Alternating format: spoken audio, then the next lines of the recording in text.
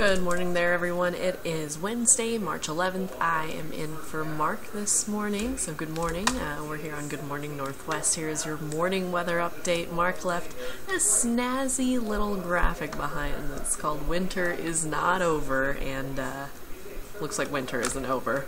Uh, let's get into your forecast here. I have a couple minutes in between hits. So, um, temperatures right now they're in the upper 30s in Spokane. This is what we're looking at for the rest of the work week and then into the weekend enjoy these spring-like conditions while we have them Wednesday and Thursday. We are a little bit warm for today. 51 degrees. This is one of our warmer temperatures throughout this work week.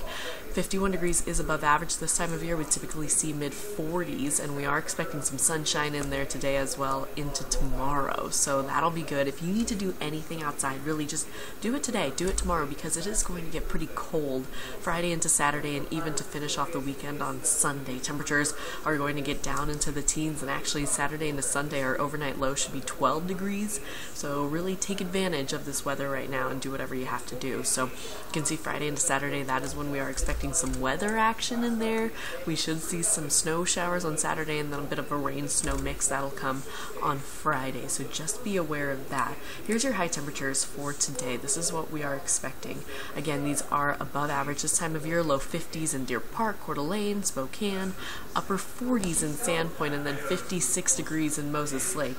Our overnight low temperatures for tonight, they're actually going to be pretty close to what we're going to see in terms of our afternoon high temperatures later on throughout this weekend. 27 degrees in Spokane Valley tonight, 27 in Moses Lake, and 24 in Deer Park as well.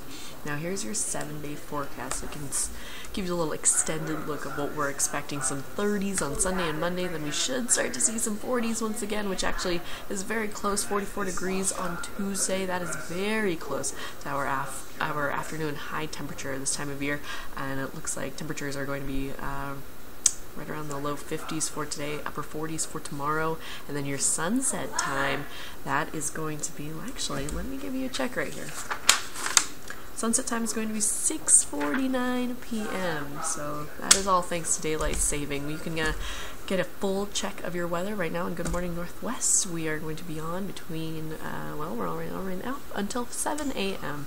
for this morning, and then we're also going to be in between Good Morning America Guns. So uh, be sure to get all of that. Sorry, I'm talking a little softly. We are in the show right now, so I will provide you a midday weather update that is coming out later. So. Uh, make it a great Wednesday. I'm Nikki Torres here again, um, in for Mark Peterson for today, tomorrow, and Friday. I'll see you at the midday forecast.